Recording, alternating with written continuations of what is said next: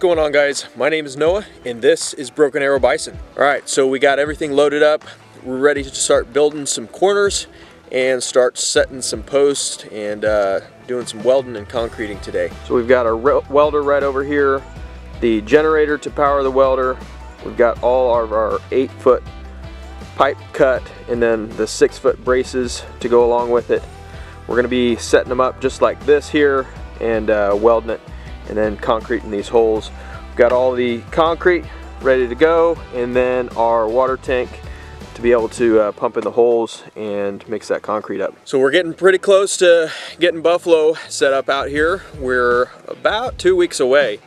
So not too far away, almost ready to go. Really, we're kind of on the home stretch on this. Um, welding up the braces and setting the corners and gates and everything. Will probably take a day or two and then running the wires um, and setting all that up. It's going to be about a day or two also.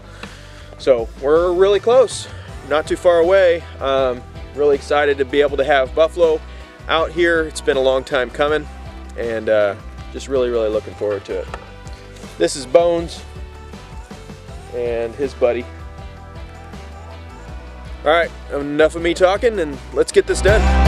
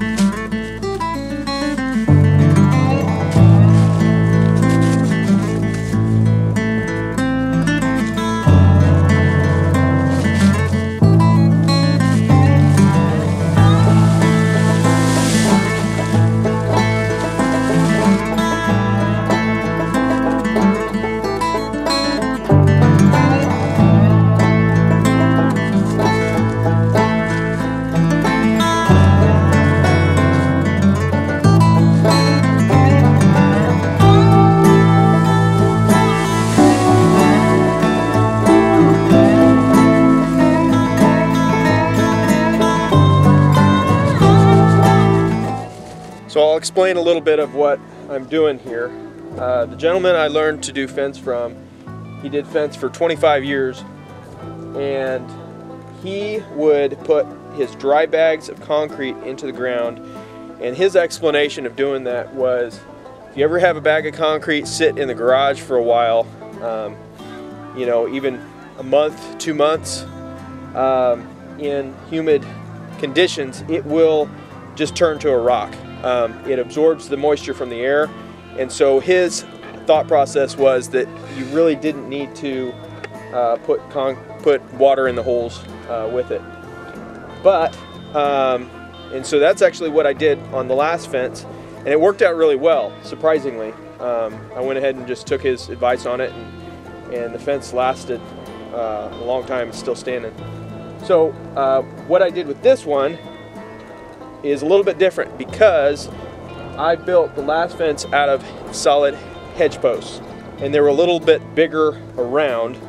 So my concern on this oil field pipe is because the diameter is smaller um, and the concrete wouldn't be set up, I'm worried that when I start putting tension on the wires, it will start pulling through the concrete before it gets a chance to set up. So what I did with this was I went ahead and put two five gallons of buckets of water in here and then I put two bags of concrete on top of that and that way it gives it a chance to just really fully seat. I'm just gonna go ahead and weld this up uh, this weekend and then the following weekend I'm gonna come back and run my wires. That way it gives it a chance to fully set up. So the last fence I did, I ran a five strand Um, I decided to run a six strand on this one, and the reason for that was is I had really good luck with the five strand with the buffalo, but I actually had a couple beef calves that um, the gap was a little bit farther apart and they would push through the fence. So there's one caveat to electric fence, and that is if the animal gets shocked on their front half, they will move backwards most most of the time. If the animal gets shocked on their second half, they will move forwards. It's just a natural tendency that, you know, if they feel pain from the back end, they'll go forwards. If they feel, feel pain from the front end, they'll go backwards. Well, what I ended up having with my uh, beef calves is the gap was so large and the electric fence pulsates. So they would stick their heads through, it would, it would be off, stick their heads through to try, try to you know, grab something or get it on the other side, and then it would pulsate. And by then, they would be on their, the wire would be on their second half, and they would go all the way through. So that's one thing that I wanted to kind of try to deal with on this fence. So I'm putting the wires a little bit closer together on this. I decided to go uh, eight and a half inches apart, and that'll make a six strand if I decide to go with a four and a half foot fence. So this is four and a half foot here. I'm going to come an inch down on that and then I'm going to go eight inches. So this would be an inch here and then I'm going to come eight and a half inches all the way down. And then eight and a half inches from there. And that, so I'm going to have a wire here and a wire here and so on and so forth. Um, and a wire here.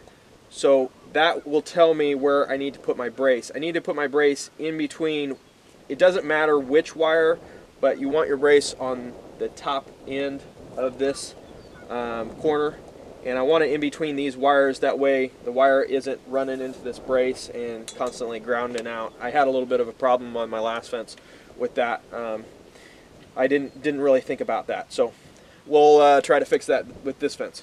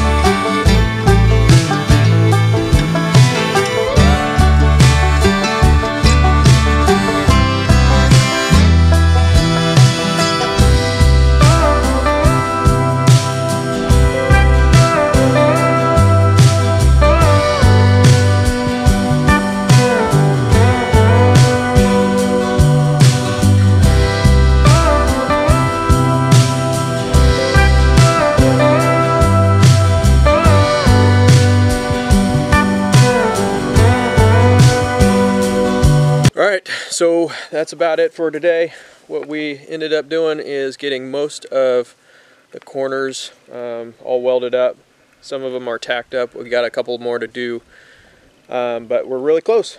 So if you haven't already, remember to like and subscribe and hit that bell icon. That will tell you whenever we uh, put out new videos. And for those of you who watched our last video, I asked the question, how high can buffalo jump?